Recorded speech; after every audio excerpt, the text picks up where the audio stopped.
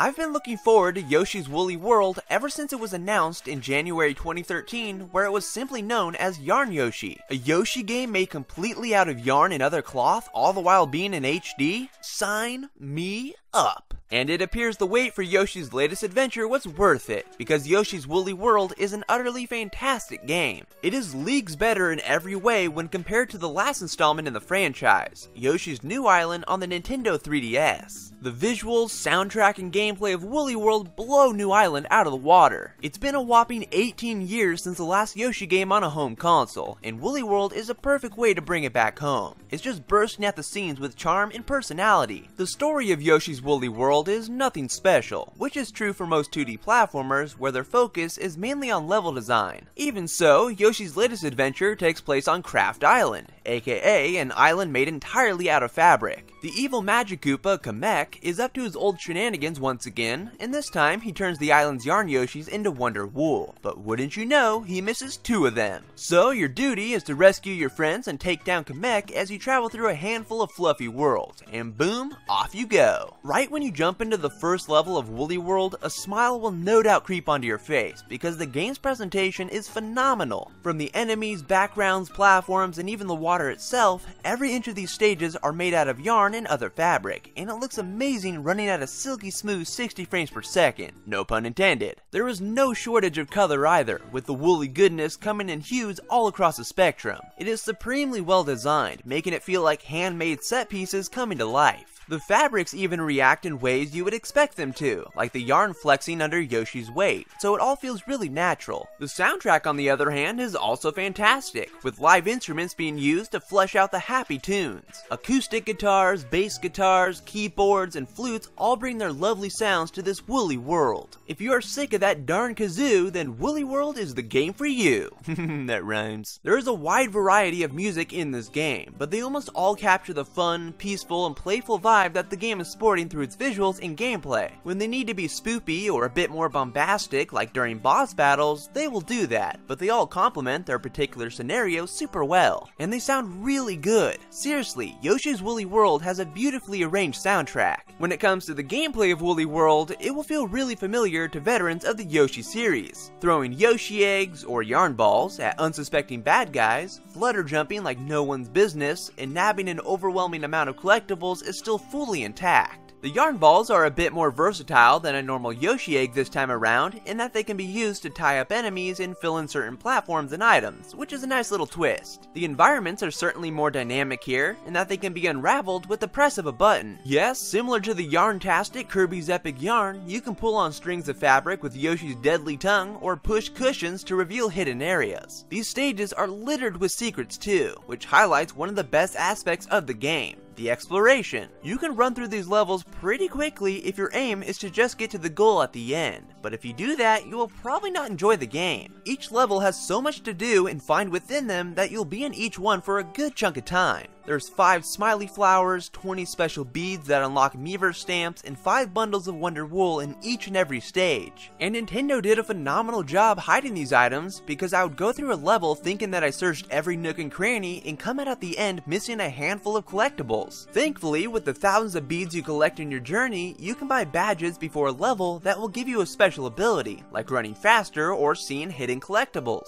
The latter is probably one of the most useful though, especially if you're a completionist. It eliminates a lot of the time you will spend fluttering around through the air trying to find the invisible clouds. Oh, and the bundles of Wonder Wool I mentioned are super awesome. They'll be something that you'll want to collect, because they unlock new costumes or patterns for the Yoshinator. And since there is Wonder Wool to find in every stage, there's a ton of patterns to unlock. It's an amazing perk getting something tangible for going out of your way to find these things, instead of just getting a thumbs up per se at the end of a stage. Besides all that, the level designs are creative and fun introducing different ways of using yarn, such as turning boos into balloons by smacking them with a yarn ball, or attaching yourself to velcro conveyor belts. Even the segments and stages where Yoshi changes into various different transformations are delightful, which the same can't be said for the ones found in Yoshi's New Island. Sure, they are really simple, and for the most part easy, but they were a nice change of pace from the slow exploration, considering the gameplay was faster paced during these segments. Plus, who doesn't want to play as a Yoshi motorcycle or Yoshi mermaid? Yeah,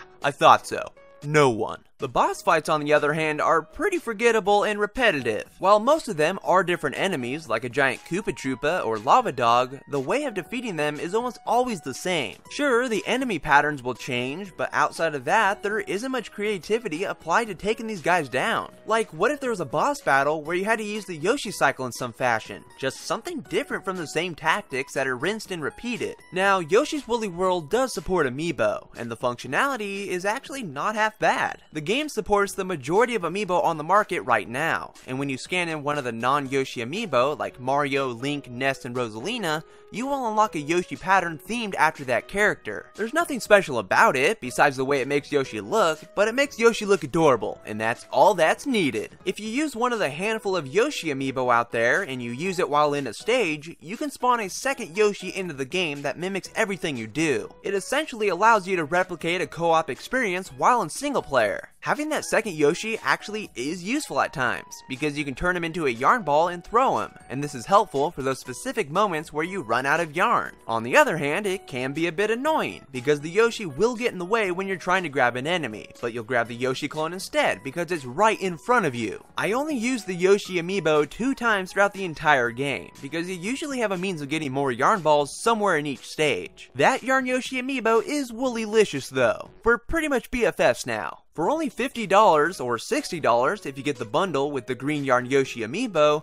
Yoshi's Woolly World is ripe with content that totally justifies the price tag. The game has plenty to do after you hit the end credits. There's the myriads of collectibles to find in each and every stage, there's more difficult special stages to unlock by finding all the smiley flowers in every level of a world, and so on. The best part about trying to be a completionist with this game is that you are rewarded along the way with new costumes, levels, and so forth. This is something that some games should definitely take note of. So overall, Yoshi's Woolly World is a supremely delightful game that oozes charm and is just plain old fun that anyone can pick up and play. It's easy if you're just going to run through every level without exploring, but video game veterans will no doubt enjoy the tougher challenges that come with trying to nab all the collectibles, where they can sometimes be in tricky spots. Woolly World's visuals are amazing, the soundtrack is sublime, the game is solid with its heavy focus on exploration, and it does a great job rewarding you for the collectibles. Unfortunately, the bosses are the low point of Woolly World, which seems to be a trend with Yoshi games games, but mashing everything together, it's quite a fantastic game. So, in all, I found Yoshi's Woolly World to be an amazing game. And that will bring us to the end of this review. And if you liked what you saw, please give this video a thumbs up, add it to your favorites, and all that good stuff.